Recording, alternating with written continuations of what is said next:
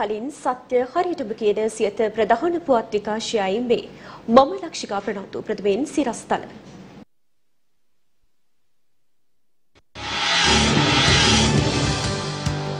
භයානක කොරෝනා වෛරසය ආසියාවටත් මාස 18ක් තුල මිලියන 65ක පමණ පිරිසක් මිය යනු ඇති බවට අනතුරු හැඟවීමක්. පොලිස්පති පූජිත් ජයසුන්දර පාස්කු ප්‍රහාරය ගැන සොයන ජනපති කොමිසමට. ආබාධ සහිත දරුවන් සඳහා වෙන් වූ මෙරට ප්‍රථම ළමාසුරකුම් මධ්‍යස්ථානය ජනපති අතින් විවෘත වෙයි. එජාප නායකත්වයේ වෙනස කඩිනමින් අවශ්‍යයි. පක්ෂ මන්ත්‍රීවරුන් කියයි. ඉදිරි මාස දෙක තුළ ශ්‍රී ලංකාවට ඩොල බිලියනයක ආයෝජනයක් රාජ්‍ය ඇමති කෙහෙලිය පවසයි. දාහ දෙන්න වතු හිමිකරුවන්ගෙන් රජයට යෝජනාවලියක්. මැතිව් සැතුළ ශ්‍රී ලාංකික ටෙස් ක්‍රීඩකින් ශ්‍රේණිගත කිරීම්වල ඉහළට. ප්‍රථමයෙන් දේශීය පුවත් චීනය පුරා සීග්‍රයෙන් පැතිර යමින් පවතින කොරෝනා වෛරසය හේතුවෙන් මාස 18ක් තුළ ලොව පුරා මිලියන 65ක ජනතාවක් මරණයට පත්වීමේ අවධානමක් පවතින බව ඇමරිකානු වෛද්‍ය පරීක්ෂණ ආයතනයක් අනුතුරු වගවා තිබෙනවා. එසේම මේ වන විට අදාළ වෛරසය ලොව පුරා පැතිර ගොස් ඇති අතර ඉන් මියගිය පුද්ගලයන් ගණන 41ක් දක්වා ඉහළ ගොස් ඇති බවයි විදෙස් මාධ්‍ය වාර්තා කළේ.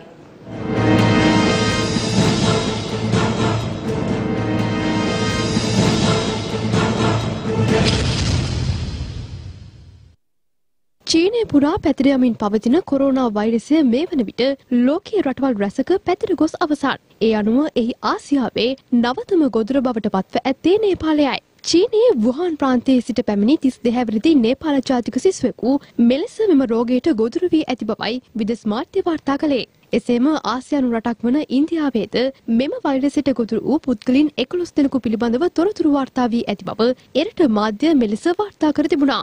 ඒ අනුව ඉන් හත් දෙනෙකු කේරළ ප්‍රාන්තයෙන්ද දෙදෙනෙකු මුම්බයි සහ ඉතිරි දෙදෙනා බෙංගලුරු සහ හයිඩ්‍රාපාතු නගරවලින් වාර්තා වී තිබෙනවා.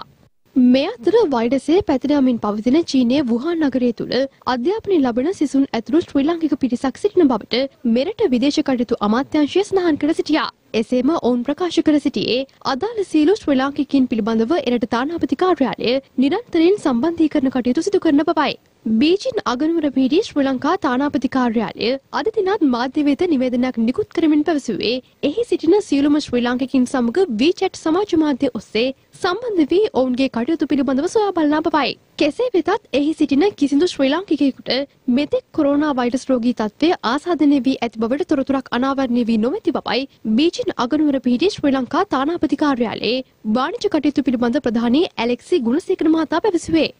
චීනයේ නවවසර උදාව අද දිනට යෙදී තිබුණත් මෙම අවාසනාවන්ත තත්ත්වය හමුවේ එරට අලුත් අවුරුදු සැමරුම් අත්හිටුවීමට චීන බලධාරීන් කටයුතු කර තිබුණා. ඒ චීනයේ නගර දහතුනක් වෙත සහ ඉන් පිටත සංචාරක සීමා පැනවීමත් සමගයි. එසේම මේ වන විට මෙම වෛරස් රෝගී තත්ත්වය හේතුවෙන් පුද්ගලින් හතලිස් එක් දෙනෙකු ජීවිතක්ෂයට පත්ව ඇති අතර ඉන් පහළොස් දෙනෙකු වාර්තා වන්නේ චීනයේ හුපෙයි පළාතෙන්. රෝගී තත්ත්වයේ වැළඳුණු පුද්ගලින් එක්දස් දෙසියකට අධික පිරිසක් පිළිබඳව අනාවරණය වී ඇති බවයි විදෙස් මාධ්‍ය වාර්තා වැඩිදුරටත් පවසන්නේ. චීනය තුළ පවතින ව්‍යසනකාරී තත්ත්වය සහ රෝහල් තුළ පවතින අර්බුද හමුවේ චීනයේ වුහාන් ප්‍රාන්තයේ නව රෝහලක් ඉදිකිරීමටද චීන බලධාරීන් සැලසුම් කර තිබෙනවා.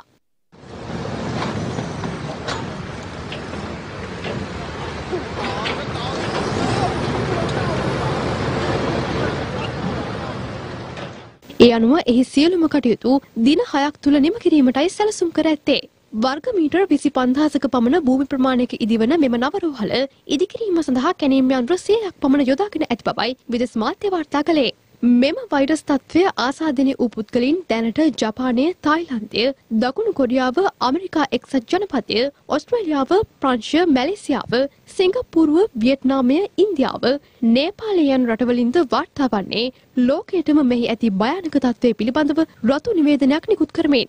ඒ අනුව සීක්‍රයෙන් පැතිරයමින් පවතින මෙම කොරෝනා වෛරසය හේතුවෙන් මාස දහ අටක් තුළදී ලොව පුරා මිලියන හැටපාක ජනතාවක් මරණයට පත්වීමේ අවධානමක් පවතින බවට අමරිකාවේ ජෝන් හොප්කින්ස් වෛත්‍ය පරීක්ෂණ අංශයේ වෛත්‍ය එරික් ටෝන මහතා අනතුරු අඟවා තිබෙනවා. එමෙන්ම ඔහු වැඩිදුරටත් ප්‍රකාශ කර ඇත්තේ මාස හයක් වැනි කෙටි කාලයක් තුළ මෙම වෛරසය මුළු මහත් ලෝකයටම පැතිර යාමේ අවධානමක් පවතින බවයි.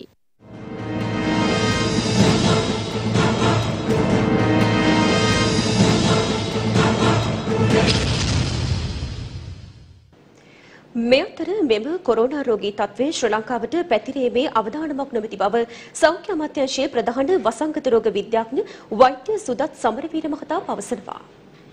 චීනෙන් ඔබට මේ රෝගය පැතිරුණා වගේම ලංකාවටත් ඒ වගේ රෝගය අඳුනා දීමේ අවධානමක් තියෙනවා යම්කිසි විදියකින් ඒ රෝගය වැළඳුණු කෙනෙක් ලංකාවට පැමිණියොත්. නමුත් ඒ සඳහා විය යුතු නැහැ. ඒ සඳහා අවශ්‍ය කරන මූලික පෙර සූදානම ශ්‍රී ලංකා රජය මගින් අරගෙන තියෙනවා. විශේෂයෙන්ම මේ රෝගය වාර්තා වෙච්ච ප්‍රදේශයක සිට ලංකාවට පැමිණිලා මුල සති දෙක ඇතුළත ඔවුන්ට ශ්වසන රෝගයක් ඇති වෙනවා නම් ඒ කියන්නේ අධිකුණ කැස්ස සෙම්ප්‍රතිශ්‍යාව හුස්ම ගැනීම අවස්ථාව වගේ රෝග ලක්ෂණ ඇති වෙනවා නම් ඔවුන් වහාම පවුලේ වෛද්‍යවරයා හෝ සුදුසුකම්ලත් වෛද්‍යවරයෙකු හමු වෙලා ප්‍රතිකාර ලබා ගන්න ඕන. අපි විශේෂයෙන්ම ජනතාවගෙන් ඉල්ලා සිටින මේ පිළිබඳව යම් කිසි විදිහකින් බියවීමක් නෙවෙයි අවශ්‍ය වෙන්නේ. ඒ සඳහා පෙර සූදානම්. tamunට කැස්ටසන් ප්‍රතිශ්‍යාව වගේ තියෙනවා නම් ඒ වගේ ගමන් බිමන් සීමා කිරීම සහ ඒ වගේ තැනකට යනවා නම් මුඛාවරණයක් පැළඳීම කහිනකොට කිවිසුම් යනකොට තමුන්ගේ වැලමිට පාවිච්චි කරලා මුඛය ආවරණය කිරීම එහෙම නැත්නම් ටිෂු පාවිච්චි කිරීම ඒ වගේ ටිෂු පාවිච්චි කළොත් ඒවා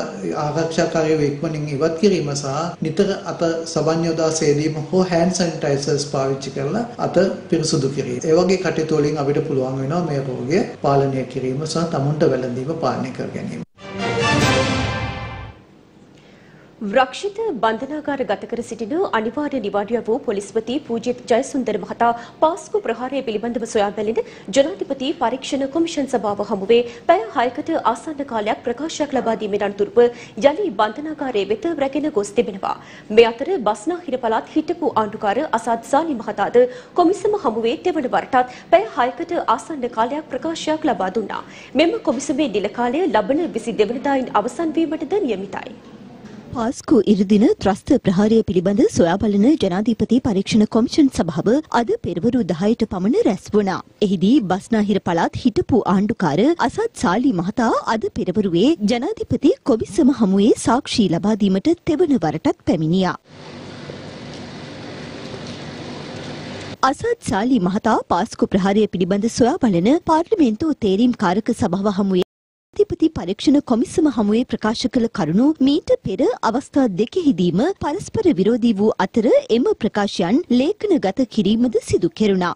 පාස්කු ඉරුදින එල්ල වූ ත්‍රස්ත ප්‍රහාර මාලාව වළක්වා නොගැනීම සම්බන්ධයෙන් අනිවාර්ය නිවාඩු යවා සිටින දැනට රිමාන්ඩ් භාරයේ පසුවන පොලිස්පති පූජිත් ජයසුන්දර මහතා ජනාධිපති පරීක්ෂණ කොමිසම හමුවේ සාක්ෂි ලබා දීමට අද පැමිණියේ ප්‍රථම වරටයි.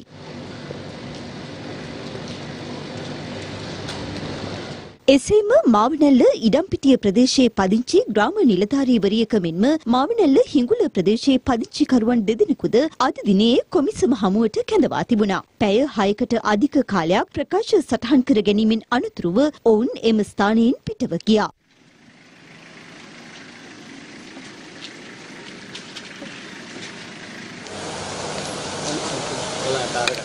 තවස්සෙම අද පූජිත ජයසුන්දර පොලිස්පතිතුමා තමයි එතුමාගේ සාකි ලබා දුන්නේ. එතනදී බුදු පිළිමය කඩපු මිනිස්සු බාර දෙනවයි කියලා අසත්සාලි පොරොන්දුනායි කියලා ප්‍රකාශ කරලා තිබුණා මාධ්‍ය දෙකට ඇවිල්ලා. ඒකට මේ ටිකේම සාකි ඇව්වා. සහකාර පොලිස් අධිකාරී ගාමිණි තෙන්නකොණ්ඩවත් ගෙනලා ඇව්වා. බලපෑමක් පොලිසියට කරලා තිබුණාද කියලා ඒක නැත. පොලිස්පතිතුමාගෙන් උතාලා තියෙනවා බලපෑමක් කරලා තිබුණා කියලා නැත. අසත්සාලි දෙන්නෙක් බාර දෙනවද කියලා ඇහැලා තිබුණා. ඒකත් නැත. ඒ නිසා මට පුදුම සන්තෝෂයක් අද මේ සියලු දෙනාගෙන්ම ඒ වගේ ප්‍රකාශයක් එළි වුණෙත් නැහැ. එහෙම බලපෑමක් කෙරුවා කියලා ආවෙත් නැහැ. බුදු පිළිම කඩන දෙන්නෙක්ව මම බාර දෙනවා කියලා කිව්වෙත් නැහැ කියන එක ප්‍රකාශ වුණා. ඒක ඇති මට ඒක තමයි මෙච්චරකල් මාංශුනේ මම හැමදාම ප්‍රකාශ කරුවේ සත්‍ය. සත්‍යයෙන් දොර වෙන කිසිවක් නැත. විශේෂ අවශ්‍යතා සහිත දරුවන් වෙනුවෙන් මෙරට ප්‍රථම ළමා සුරුකුම් මධ්‍යස්ථානය අද පෙරවරුවේ විවෘත කෙරුණා.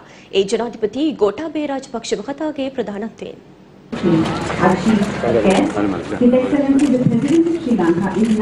ආබාධ සහිත දරුවන් සඳහා වූ මෙරට ප්‍රථම ළමා සුරකුම් මධ්‍යස්ථානය වන ආයති ජාතික මධ්‍යස්ථානය විවෘත කරමින් සමරු පලක නිරාවරණය කිරීම ජනාධිපති ගෝඨාභය රාජපක්ෂ මහතාතින් සිදු වුණා. ආයති ළමා සුරකුම් මධ්‍යස්ථානය විවෘත කළ ජනාධිපතිතුමා එහි සියලු අංශ නිරීක්ෂණය කළා.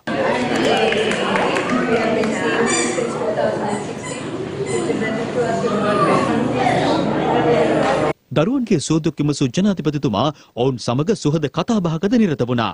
ළමා සුරකු මධ්‍යස්ථාන ඉදිකිරීම සඳහා දායක වූවන් සමග ජනාධිපතිතුමා සමූහ ඡායාරූපයකටද පෙනී සිටියා. හෙමස් හෝල්ඩින් සමාගම සහ මාස් හෝල්ඩින් සමාගම මෙන්ම රොෂාන් විජේරාම පවුල් පදනම මේ සඳහා මුදල් ලබා දී තිබෙනවා. ශ්‍රී ලංකා යුද හමුදාවේ ශ්‍රම දායකත්වයෙන් වසරක් තුළ ඉදිකිරීම් නොමිලේ සිදු කර ඇති අතර ශ්‍රවණ උපකරණ රොටරේ සමාජය විසින් ලබා දී තිබෙනවා. මෙහි සෑම දිනකම නොමිලේ සායන පැවැත්වෙන අතර කැලණිය විශ්වවිද්‍යාලයේ වෛද්‍ය පීඨයට අනුබද්ධිත ඉහළම සුදුසුකම්ලත් වෘත්තීය විශේෂඥයන්ගේ සේවය ඊට සැපයනවා. ආබාධිත භාවයේ ජාතික ගැටලුවක් ලෙස හඳුනාගෙන තිබෙන අතර දරුවන් පස් දෙනෙකුගෙන් එක් අයෙකුට එනම් 120ක් කායික හෝ මානසික ආබාධයකින් පෙළෙන බව පරීක්ෂණ වලින් අනාවරණය වී තිබෙනවා. කල් තබා හඳුනාගෙන අවශ්‍ය ප්‍රතිකර්ම ලබා දීමෙන් ඔවුන් වඩාත් ඵලදායී ලෙස සමාජගත කළ හැකි බවත් ඊට විසඳුමක් සැපීමට රාජ්‍යංශය හා පෞද්ගලිකංශය අතර එකඟතාවයකින් ආයති ජාතික මධ්‍යස්ථානය ස්ථාපිත කර තිබෙනවා. ඊට වැය කෙරුණු මුදල රුපියල් කෝටි 55ක්. It was just beyond. Faculty of Medicine, autistic. IIT Center is totally free of charge. විහාරස්ථානවල අවශ්‍යතා හඳුනාගෙන කඩිනමින් එම අවශ්‍යතා ඉටු කිරීමට පියවර ගන්නා බව අග්‍රාමාත්‍ය මහින්ද රාජපක්ෂ මහතා පවසනවා. අග්‍රාමාත්‍යවරයා මේ බව ප්‍රකාශ කළේ හොරුපතාන ප්‍රදේශයේ පැවති ආගමික වැඩසටහනකදී. හොරෝපතන කුඩාගම බෝධිමලු විහාරස්ථානයේ පැවති උත්සවයක් සඳහා අග්‍රාමාත්‍ය මහින්ද රාජපක්ෂ මහතා අද හොරෝපතාන ප්‍රදේශයට පැමිණියා. එම අවස්ථාවේදී ප්‍රදේශීය පාසල් සිසු සිසුවියන් පිරිසක් අග්‍රාමාත්‍යවරයා පිළිගැනීමට එක්ව සිටි අතර අග්‍රාමාත්‍යවරයා ඔවුන් සමග සුහද කතාබහකටද එක් වුණා. ඉන්නතුරුව හොරෝපතාන කුඩාගම බෝධිමලු විහාරස්ථානයේ අභිනවයෙන් ඉදිකළ චෛත්‍ය රාජානන් වහන්සේගේ කොත නිරාවරණය කිරීම අග්‍රාමාත්‍ය මහින්ද රාජපක්ෂ මහතාගේ ප්‍රධානත්වයෙන් සිදු කරනු ලැබුවා. අපි පවුලක් වශයෙන් බැඳිලා ඉන්නවා. රටක පවුලක් වශයෙන් බැඳිලා ඉන්නවා නම් අපි දකිනවා පක් වෙලාවට දේශපාලඥයෝ ඒකට සමච්චල් කරනවා. ඉතින් සමච්චලයට ලක් වෙන්න පවුලක් වශයෙන් එක්කහුව වීම එකින් එකාට සම්බන්ධ වෙලා එකතු එකට ඉඳීම අපරාධයක් වශයෙන් දකින කට්ටියක් ඉන්නවා. ඒකට මම තමුන්වන්සලා අමුතුවෙන් මම කියන්න ඕනේ නැහැ කියලා. ඒක මම හිතනවා ජාතියක අවාසනාවක්. අපි පවුලක් වශයෙන් ඉන්න ගමන් මුළු ජාතියකම මුළු රටම ජාතියක් කියන්නේ හැම හැම ආගමික හැම ජාතියකටම පිරිස. එක රටක් වශයෙන් එක පවුලක් වශයෙන් අපිට එකතු වෙලා කටයුතු කරන්න පුළුවන් විය යුතුව තියෙනවා. ඒක තමයි රටක් දියුණු වෙන්නේ කියන එක විශ්වාසය. සමහර පන්සල් වලට හඳුන්නේ කෝටි ගණන් අපි සල්ලි දීලා තියෙනවා පසුගිය කාලේ නම්. දැන් අපි නියම කරලා තියෙනවා බෞද්ධ අමාත්‍යාංශයට වහාම ඒ පන්සල් අඹරගෙන ඒ පන්සල් සියල්ලටම මූලිකව ඒ අවශ්‍යතාවයන් පිළිබඳව සොයලා බලලා ඒ දුප්පත් පන්සල් ගොඩනගීම සඳහා අවශ්‍ය පියවර ගන්න අපි අමාත්‍යාංශයේ ලේකම්වරයාට උපදෙස් දීලා තියෙනවා. පෝර ගේන්න කියලා කිව්වා. දැන් පෝර ගෙනල්ලා තියෙනවා. මම හිතන්නේ මම මේක දැනගත්ත ගමන් අද මේ පාරේ ඉන්න ගමන්ම මුදල් ලේකම්වරයාගෙන් කතා කරලා ඇහුවා විමසුවා. උන්ව පෝර තියෙනවා. එමනම් මේ බෙදා හැරීමේ දුර්වලකමක් ඇති. ඒ ගැන සොයලා බලන්න කොහොමම පියවර ගන්න කියලා මේළඟ මහමැතිවරණයේ ජයග්‍රහණය කිරීම සඳහා වත්මන් ආණ්ඩුව යළිත් වරක් ජනතාව මුලා කිරීමට උත්සාහ කරන බව විපක්ෂ නායක සජිත් ප්‍රේමදාස මහතා පවසනවා. විල්ගමුව ප්‍රදේශයේ පැවති ජන රැළියකට එක් වෙමින් විපක්ෂ නායකවරයා මේ බව සඳහන් කළා. මේ රාජ්‍ය සේවයේ නිරත වී සිටින සියලු දෙනාට හොඳ අවස්ථාවක් එළමෙනවා. ඉදිරි මහමැතිවරණයේදී මේ ජනාධිපතිවරණයේදී කරපු මේ ඓතිහාසික රැවටිල්ලට පිළිතුරක් ලබා දෙන්න. මුළු ජන සමාජයේම රැවැට්ටුවා. අපි කරපු හැම වැඩක්ම අතරමඟ නතර කරලා. ඉතින් මිත්‍රවරුනි මම අහන්න කැමති මේකද ජනතාව බලාපොරොත්තු වුණු සෞභාග්‍යී දැක්ම. 69 ලක්ෂයක් බොරුවට රැවටුණා. දැන් කියනවා MCC කිවිසුමෙන් 170ක් හොඳයිලු. 130ක් විතරලු නරක. දැන් මේ සලසුම් කරන්නේ මොකටද? මේ සැලසුම් කරන්නේ තවත් බොරුවක් ජනතාවට ඉදිරිපත් කරලා තවත් මහා ඓතිහාසික ජාතික රැවටිල්ලක් ක්‍රියාත්මක කරලා මහමැතිවරණයේ දිනාගෙන මැතිවරණ වේදිකාවල් වල කියපු හැම දෙයක්ම උඩු යටිකුරු කරලා ජනතාවට අසහනය තමන්ට සහනය කියන ප්‍රතිපත්තිය ක්‍රියාත්මක කරයි. කරුණා කරලා දෙවෙනි වතාවටත් පිට පිටම රැවටෙන්න එපා. නොවැම්බර් 16 වෙනිදා ඉඳලා 3000 මල්ලේ වටිනාකම බර අඩුවීමක් පටන් ගන්න. වටිනාකම අඩුවීමක් පටන් ගන්න. මං අහන්න කැමති 69 ලක්ෂයක් අපේ රටේ ජනතාවගෙන් ඇයි සමෘද්ධියයි ජනසවියයි එපා කියලා නොලැබෙන තුන්දාහේ මල්ලක් පස්සේ ගියේ. දැන් මල්ලක් නැහැ, තුන්දාහක් නැහැ, ජනසවියක් නැහැ, ජනතාවට ලබා දෙන සහන ටිකක් නැහැ. එක්සත් ජාතික පක්ෂයේ නායකත්වයේ සම්බන්ධයෙන් අවස්ථා කිහිපෙදි- කිහිපයකදීම සාකච්ඡා සිදු කළද අද වන විටත් අවසන් තීරණයකට එළඹීමට සමත් වී නැහැ. මේ අතර පක්ෂයේ ප්‍රතිසංවිධාන කටයුතු පිළිබඳව සාකච්ඡා කිරීම සඳහා ප්‍රාදේශීය මන්ත්‍රීවරුන් හෙට දිනේදී කොළඹට කැඳවීමට විපක්ෂ නායක සජිත් ප්‍රේමදාස මහතා තීරණය කර තිබෙනවා. එක්සත් ජාතික පක්ෂයේ නායකත්වයේ සම්බන්ධයෙන් අවසන් තීරණයකට එළඹීම අද වන විට සිදු කෙරෙන බවට එම පක්ෂයේ මන්ත්‍රීවරුන් පසුගියදා ප්‍රකාශ කළා. පක්ෂ නායකත්වයේ පිළිබඳව තීරණයක් ගැනීම සඳහා වත්මන් නායක රනිල් වික්‍රමසිංහ මහතා, විපක්ෂ නායක සජිත් ප්‍රේමදාස මහතා සහ කතානායක කරු ජයසූරිය මහතා එක්ව මෙන්ම වෙන්වෙන් වශයෙන්ද අවස්ථා කිහිපයකදී සාකච්ඡා සිදු කරනු ලැබුවා. පක්ෂයේ නායකත්වයේ වෙනසක් සිදු නොවන්නේ නම් සජිත් ප්‍රේමදාස මහතාගේ නායකත්වයෙන් යුතු නව සංධානයක් ගොඩනගමින් ඉදිරි මහමැතිවරණය සඳහා තරඟ කරන බව එක්සත් ජාතික පක්ෂ මන්ත්‍රී කණ්ඩායමින් පිරිසක් පවසනවා. කෙසේ වෙතත් පක්ෂ නායකත්වය හැර මහමැතිවරණයේ සංවිධාන කටයුතු සියල්ලෙහිම වගකීම සජිත් ප්‍රේමදාස මහතා හට ලබා දීමටත් එක්සත් ජාතික පක්ෂය තීරණය කර ඇති බවයි සඳහන් වන්නේ. මේ අතර එක්සත් ජාතික පක්ෂයේ සියලු ප්‍රාදේශීය සභා මන්ත්‍රීවරුන් හෙට දිනේදී කොළඹට කැඳවා සාකච්ඡා කිරීමට විපක්ෂ නායක සජිත් ප්‍රේමදාස මහතා තීරණය කර තිබෙනවා. මීට දින කිහිපයකට පෙර එක්සත් ජාතික පක්ෂ ආසන සංවිධායකවරුන් සමගද සජිත් ප්‍රේමදාස මහතා සාකච්ඡා පැවැත්වුවා. මේ අතර පක්ෂ නායකත්වයේ සම්බන්ධයෙන් එක්සත් ජාතික පක්ෂ මන්ත්‍රීවරුන් මෙලෙස අදහස් පළ කළා. මං හිතන අපිට ප්‍රශ්නයක් නැහැ. වර්තමානයේ සජිත් ප්‍රේමදාස මැතිතුමාගේ නායකත්වයේ යටතේ සන්දානයක් හදලා එක්සත් ජාතික පක්ෂයේ ආශිර්වාදය සහභාගීත්වයක් තුළ කටයුතු කරගෙන යනවා. හැමතිස්සෙම දේශපාලන පක්ෂයක් වුණාම බල අරගල තියෙනවා. ඒක පක්ෂය ඇතුළේ දෙයක්. මම හිතන්නේ නායකයෙක් හෝ ඕනම තනතුරක් දරන කෙනෙක් ජනතාව ප්‍රතික්ෂේප කරනවා නම් එතකොට ඒ වගේ එල්ලලා ඉඳලා වැඩක් නැහැ. වර්තමාන නායකයා ජනප්‍රිය නැහැ. ඒක හන්ද වෙනසක් විය යුතුයි. එක්සත් ජාතික පක්ෂයට නව ප්‍රතිරූපයක් එන්න ඕනේ. නායකයාගේ පැවැත්ම තියෙන්නේ නායකයා වටා පිරිස ඉන්නකම් පමණයිනේ. පිරිසක් ඉවත් වුණොත් නායකයෙකුට පවතින්න බෑ. ඉතින් ඒක හන්දා කිසිම නායකයෙකුට මම ඉවත් වෙන්නේ නැහැ කියලා බලෙන් රැඳෙන්න බෑ. වටේ ඉන්න පිරිස ඉවත් වුණොත් නායකයා ඉවරයි. මැතිවරණය දැන් අත ළඟ වහාම කිරීමේ අවශ්‍යතාවය තියෙනවා. මේ වෙනකොට එක්සත් ජාතික පෙරමුණේ ඉදිරි මහමැතිවරණ ජයග්‍රහණය කිරීම සඳහා අපේ ශක්තිමත් නායකත්වය සජිත් ප්‍රේමදාස මැතිතුමාට ලබා දීලා තියෙනවා. එක්සත් ජාතික පක්ෂයේ නායකත්වය ලැබුණත් එතුමාට කරන්න තියෙන්නේ ඉදිරි මහමැතිවරණේ ජය ගන්න පුළුවන් වැඩ පිළිවෙල නිර්මාණය කිරීම. රනිල් වික්‍රමසිංහ මැතිතුමාත් මේ වෙනකොට පක්ෂ නායකත්වය ලබා දීම සහ එයින් ඈත් වීම සඳහා යම් යම් තැනක යෝජනා කරමින් පවතිනවා. එක්සන් ජාතික පක්ෂය ඇතුළේ තියෙන අර්බුදය නිසා ඉතිරි මැතිවරණයේදී අපි කොහොමද තරඟ කරන්නේ කොහොමද මේක ඉදිරි මැතිවරණ කටයුතු කරන්න ඕන කියලා අපිට තාම හරියට පැහැදිලි නැහැ. මේ අර්බුද නිසා අපිත් බලාපොරොත්තු වෙන්නේ උතුරු නැගෙනහිර හැර අනිත් පළාතවල අපේ පක්ෂ දෙමළ ප්‍රගතිශීලී සන්ධානය තනියම ඡන්දය ඉල්ලන්න බලාපොරොත්තු වෙනවා. ඩොලර් බිලියනයක ආයෝජනයක් මෙරටට ගෙන්වා ගැනීම සඳහා ඉදිරි මාස දෙක ඇතුළත ගිවිසුම් කිහිපයකට එළඹීමට සූදානම් බව රාජ්‍ය අමාත්‍ය කෙහෙලිය රඹුක්වැල්ල මහතා පවසනවා. රාජ්‍ය අමාත්‍යවරයා මේ බව ප්‍රකාශ කළේ මහනුවර ප්‍රදේශයේ පැවති සංවර්ධන වැඩසටහනකදී. රුපියල් මිලියන 60ක වියදමින් මහනුවර නගරයේ ඉදිකරන ලද පදිකින් හට ගමන් කිරීම සඳහා වන උමන් මාර්ගය විවෘත කිරීම අමාත්‍ය ජොන්ස්ටන් ප්‍රනාන්දු මහතාගේ ප්‍රධානත්වයෙන් සිදු කෙරුණා. මෙම අවස්ථාවට රාජ්‍ය අමාත්‍යවරුන් වන කෙහෙලිය රඹුක්වැල්ල සහ ලොහන් රත්වත් යන මහත්වරුන් දෙක්ව සිටියා. ආයෝජකයන් එන ගෙන්වීමට කරුණු දෙකක් ඉතා වැදගත්. පළවෙනි කරුණ තමයි ජාතික ආරක්ෂාව. ජාතික ආරක්ෂාව තහවුරු කරන්න මේ වෙනකොට සියලු කටයුතු කරලා ඉන්නවා. දෙවැනි එක තමයි දේශපාලන ස්ථාවරය. දේශපාලන ස්ථාවරය ගැන කතා කරන දැන්න තනි ආණ්ඩුවක් පිහිටවන්නට පුළුවන් වර්ෂාපිටාව මේ වෙනකොට නිර්මාණය වෙලා තියෙනවා. ඒ නිසාම මේ වෙනකොට විශාල වශයෙන් ආයෝජකයන්ගේ වමනාව අපට ගන්නවලා තියෙනවා. ඒත් එක්කම මේ වෙනකොටත් ඩොලර් බිලියනයක ආයෝජනයන් ගෙන්න ගන්න හැකියාවක් තිබිලා තියෙනවා. ඊගව මාසය දෙක ඇතුළත අපි ඒ වෙනුවෙන් ගිවිසුම් මත්සන් කරන්න බලාපොරොත්තු වෙනවා. දැන් ව්‍යාපාරික පුවත් විශේෂාංකය.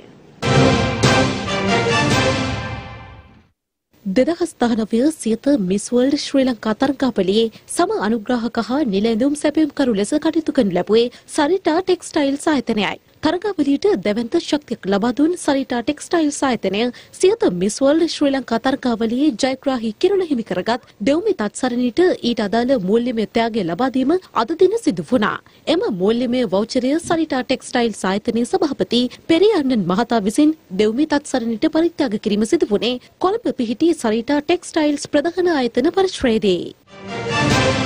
අන්තර්ජාතික ක්‍රිකට් කවුන්සිලය විසින් නම් කළ නවතම ටෙස්ට් පිතිකරුවන්ගේ ශ්‍රේණිගත කිරීමෙහි ශ්‍රී ලංකා තුන්නිරාව ක්‍රීඩක ඇන්ජලෝ මැතිව්ස් සුපිරි විසිදෙනා අතරට පැමිණ තිබෙනවා. ඒ අනුව ඔහුට හිමිවැත්තේ දහසය වන ස්ථානයයි. එම පුවතත් සමගින් ප්‍රධාන පුවත් විකාශය අවසන් සුබ සන්ධ්‍යාවක්.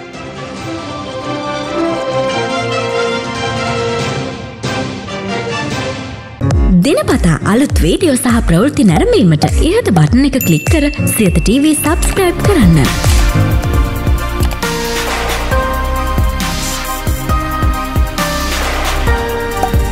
අලුත් වීඩියෝ ගැන මුලින්ම දැනගන්න මෙම සීනුව ක්ලික් කරන්න.